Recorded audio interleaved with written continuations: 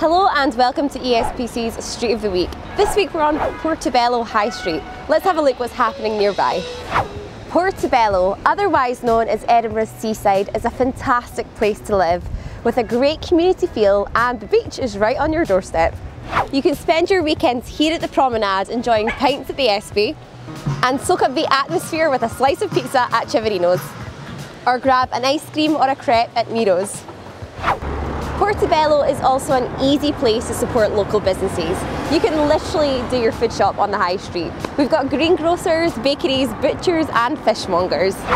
So if you're thinking of buying a property in Portobello, here are the facts you need to know. The average selling price is this.